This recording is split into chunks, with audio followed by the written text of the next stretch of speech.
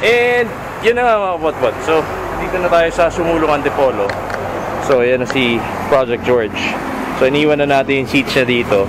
And, babalikan ko na lang dahil para mapagkasya ko yung oras ko today at uh, nagbabadya na naman si Ulan. So, iwan ko si seats. Then, uh, Kuya Chris is gonna be working on it. So, babiyahe muna tayo walang upuan dahil kailangan muna natin magpalit ng rim. Okay, so at the same time guys, naikabit na rin yung BR bullet pipe from uh, Mr. Brian Chang. So, if you if, if you wanna avail yung pipe na ganito, it's a bullet pipe since uh, tracker scrambler build tayo. Ito yung pipe na kinabit natin. Meron din siyang pang cafe which is yung mini bottle pipe. Ayan, no? Yan, pero yung kinuha natin sa kanya is yung BR bottle pipe which is room. So sound check natin mga kapot-pot.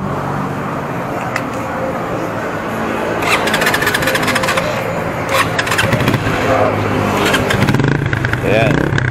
So the bike needs tuning. Uh, kinabitan ko muna ng silencer since papasok ako sa Marikina ngayon. So may option siyang pwedeng tanggalin. So ngayon, meron niyang silencer dahil del delikado. Isang libo din yan sa Marikina. Ayan na. Sige nga Bray, rev natin. Ayan na. So, um, the bike needs tuning. Kung mapapansin nyo, may backfire pa. The bike needs tuning dahil nagpalit tayo ng uh, exhaust which is itong muffler na to. So that's gonna be on our part 3 or uh, yung later on episode natin uh, kung saan i-check ni Jason. Final inspection lagi si Jason sa mga bagay-bagay. Sama na yung carb tuning and um, um, check ng bike. Okay? So meanwhile uh, yun nga if you're asking what will be the color of the seats ito yung pinili natin. So medyo color blind tayo Uh, so supposedly ito, pero hindi bumagay and may nakita ako mas maganda. So darker shade of gray. So para may iba at uh, magkakamukha na kami lahat sa Kiway. Uh, ayan na. Uh. So yun yung magiging blending niya. Uh, medyo tricky siya. Siguro sa gabi magmumukha tong black pero ayan. Diniddle kasi yung client natin guys, favorite color uh, nung uh, ni George, yung which is yung father-in-law niya, it's uh, gray or silver. So, touch of silver ang ginagawa natin. So, deep deep person or deep thoughts and uh, serious ano, serious dealing tayo dito. And again, para maiba kasi common na yung brown, common na yung black, and we're gonna try a different uh, color scheme dito. So, sana bumagay. Okay? So, Meanwhile guys, uh, baka abutan kami na ulan and again, marami pa tayong schedule na gagawin. So lipat muna tayo ng RS Moto for the rims. Palit tayo ng la maglapad tayo ng rims. Then itong likod, ililipat natin sa harap. And yung mga skid plate and iba pa mga bagay kakabit natin. Okay? So kita-kits tayo doon. Huwag kayo alas, panoorin nyo pa rin to. Ciao! And, alright boys, so nandito na tayo sa RS Moto sa Sumulong. And, uh, ito na si Project George. So, waiting for his turn para maasikaso na namin yung rims. So, again, the rear rim is gonna be transferred sa harapan. And I'm gonna be changing the, the rear with the 3.0 uh, SPD rim. So, yun yung maximum na sagad na pwede dito sa Keyway Cafe Racer 152 because as you can see, ganyan na lang yung clearance nyo. Tingnan nyo. So, by, by the way, ang tires na kinabit natin dito, OKK na 130 by 90 by 17. And sa harap naman, 120 by 90 by 17. Now, yung old setups na ginagawa natin, ang set, ang tire specs natin lagi is 110 90 17 yung harap and 120 90 17 yung likod. So, sinubukan natin mag-upsize pa ng uh, one level higher. So, para makuha natin yung kakaibang approach dito sa bike na to. So as you can see ano ang taba ng mga gulong. So sana ma-appreciate and sana gusto ni client itong si Project George natin. Alright so meanwhile well, we're here. So yan yung bike ni Brian. So sa kanya galing yung BR bullet pipe natin. And uh, may mga iba pa mga bikes dito. Ayun oh, may keyway din doon ayan. May ginagawa rin doon okay so um, pag nagsimula na kami dito babalikan ko kayo para makita nyo yung sequence or yung transformation itong bike na to. Okay? Ciao. Alright boys, so back to the drawing board. So ito na naman ang kalbaryo ni Eman. Rim. So, binaklas na natin tong rim sa likod. Lipat sa harap yan. Then we're gonna be installing our new rim. It's a 3.0 rim. So sa tires niya 130. Ang pinakasagad lang niya is 3.0. Otherwise sa side na yan. Tama man, 3.0 yan na dampot ko. 2.5 3.17 oh pwede umigit kumulang pala yan eh okay so meanwhile habang didiskarte na na naman to ito na yung seats natin oh. Charin gray.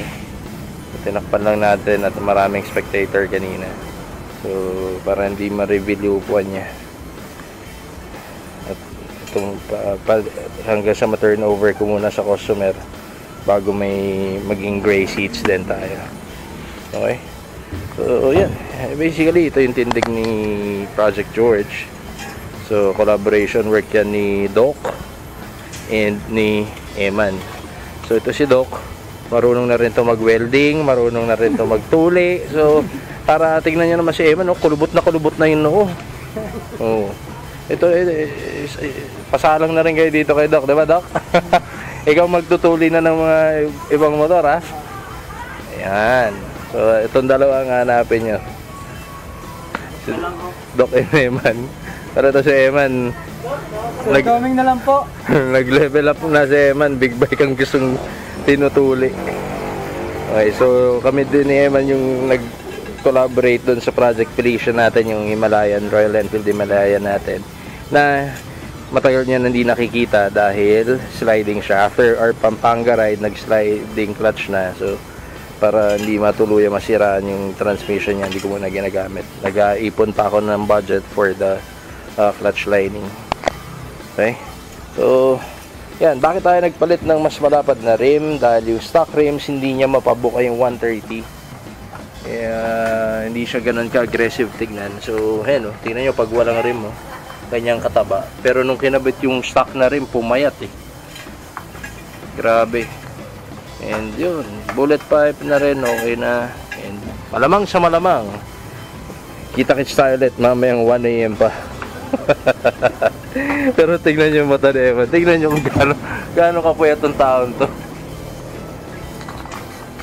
Yan. Uh, Balik ako sa inyo. ha. Gawa lang kami dito. Ciao. Uy, Eman. Eman. Tingnan nyo yung mata ni Eman. Sa'yo. Habang nagtuturo siya nabubuwang na. Para na siyang super saiyan, no? Pan, bakit mo ba ginaganyan kasi? Paliwanag mo nga sa mga kapot-pot natin. Ayan. Alignment lang rin. So, hindi uso yung alignment na nilalagyan ng parang yung sa kotse yung tingga? Hindi yun? Okay. Wala lang. Konting kalamanan lang yan mga kapot-pot. Pero right now, this is our rear rim. Uh, for alignment lang ni Eman. Medyo mabusisi lang talaga mag-align or mag-torse ng rim. Dahil ang dami mong pipihitin. Pihitin mo isa, kailangan mo rin pihitin yung tatlo sa baba. Mga ganung bagay. So, saktuhan. It's a good thing meron dito available sa RS Moto ng pang-torse ng matatabang rim. Actually, hindi naman sobrang taba. 3.0 lang yung kinabit natin. Okay? So, while Eman is working on the rim, bigyan ko kayo ng quick um, tour inside the RS Moto Shop. So, ayan, restock ng mga helmet si Boss Richard. So, mga modern yung mga restock niya. Pero, ayan, VRM helmets sa ibabaw. Na-vlog ko na yan, napanood, uh, na-upload ko na yung video about VRM helmets. This is a good alternative uh, sa ibang helmet. Or if you wanna, if you wanna consider buying a helmet na terno sa motor nyo, uh, vintage or classic style, this one is a uh, good brand. So, available siya dito sa RS Moto. At the same time, may mga full face din na classic. Such as this one, the Origin Vegas. So, available tong black and uh, white with graphics. So nakasale yung mga Vegas dito. So drop by lang kayo. And of course, yung mga uh, Royal helmets. Okay? So meanwhile guys, uh, time check, it's already quarter to 7 p.m. and expect nyo, uh, it's gonna be a late night. It's gonna be a long night for us dahil yung dami pa namin gagawin with Project George. So if we have any updates, I'm gonna give it, or I'm gonna show you different clips sa mga activities pa na gagawin namin. Okay? See you guys in a bit. Ciao! Okay boy, so mounted na yung rear tire natin and yung harap di na namin ginalaw dahil sasayad na siya talaga dahil nga 120 yung kinabit natin ayun o, oh, tignan nyo naman yung clearance. I don't know if kita, mamaya na lang sa kondo. Dikit to dikit na. So okay na siyang ganyan. So mukha naman siyang malaki yung harapan. Gano'n naman pag scrambler tracker mas malaki to talaga yung harap. Hindi na ako nagpalit ng wheel set sa harap. Na 18 dahil uh, request ni client. Okay na yung 17 17s dahil uh, due to height limitation. So this bike is designed according to his height his build and everything this is uh, customized according to our client so as you can see mukha lang siyang mahaba pero it's not 3 inches ang binawas natin dito mamaya pagdating natin ng condo pag nag-recap tayo ng ginawa natin explain ko sa inyo. Okay? Meanwhile, ito yung mounting ng rear wheels niya with uh, 3.0 SPD rim and 130 by 90 by 17 tires. No? So maganda kasi may 90 series ng 130. Before 80 series or 70 series mas mababa. So hindi ko mapataba. So nung stock rim pala, hindi ko rin mapataba. So uh, we have no choice but to replace the rear rim with 3.0 yun yung maximum na pwede kong gawin 3.0 sa 130 kasi pag nag 3.5 tayo sasayad na konti na lang clearance nyo kasi konting konti halos dumikit na. Yun no? so somewhere there. Ito yung sa brake uh, bar yung bar nung sa rear brakes. Hindi lang kita eh. So syempre gabi na. And time check it's already um, 8.30 but it's all good. So napuyat na naman. So si Brian of uh, BR5 sinamahan tayo sa pag setup nito ni uh, Project George and Eman is working on the special uh, anikanik of uh, Project George. Later pagka nag-recap tayo makikita niya yan. Okay? So isa yan sa uh, concept na binubuo natin dito. Hindi pa siya tapos. We got, we got 3 days left.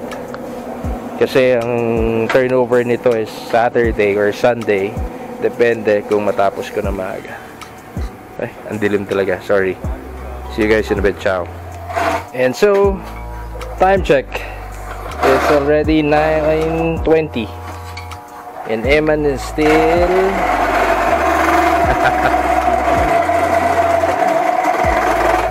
minor lang ginagawa namin pero tingnan nyo naman. Boom. Surprise yan kung anong part yan.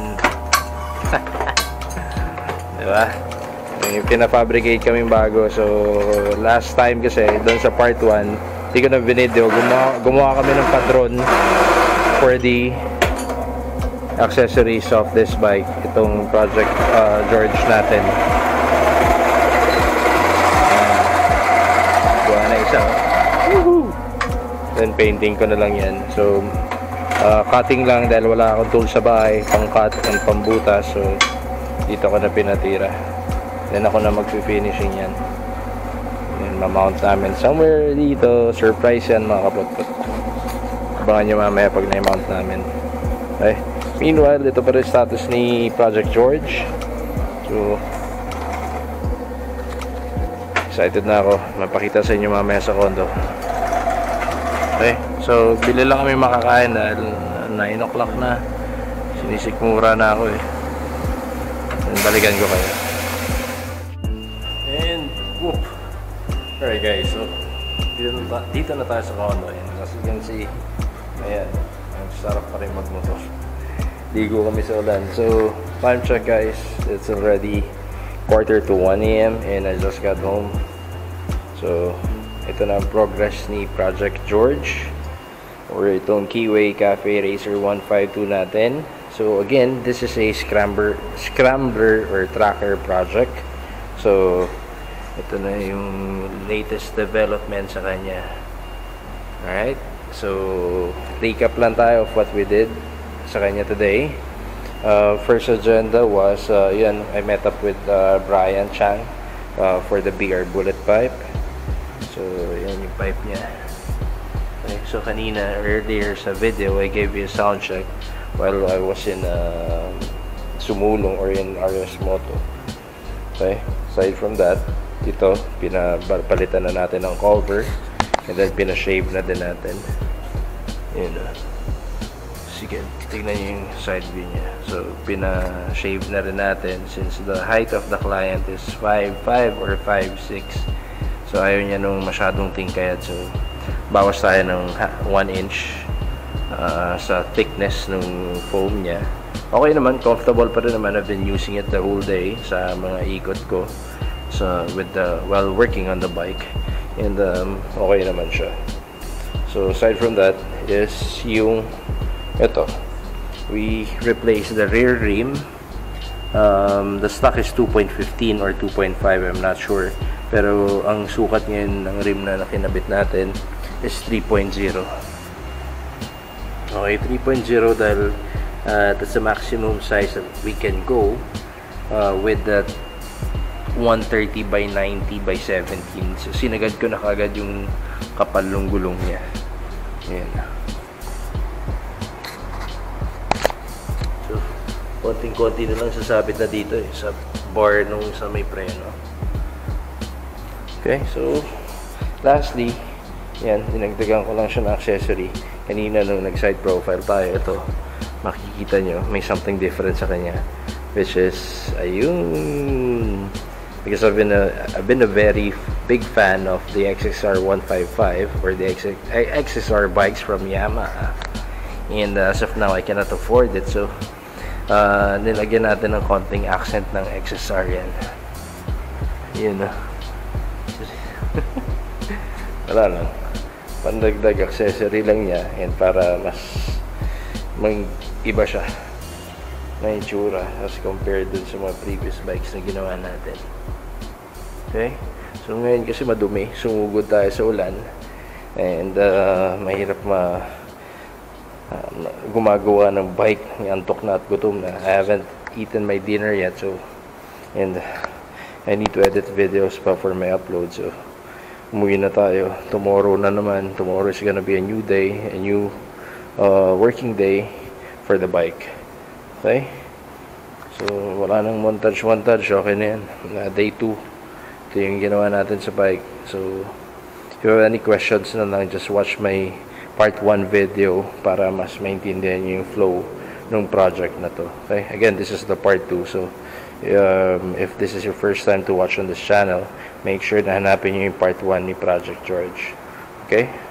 So, siguro mga kapot-pot I'll be ending the vlog from here dahil it's getting late and it's already way past my bedtime and I'm so hungry and basag-basa tayo sa ulan. Ang putik natin. Okay? So once again this is your boy Mr. Kalaka now signing off. Ciao. Wee. so good night everyone. Ride safe. And God bless pala peace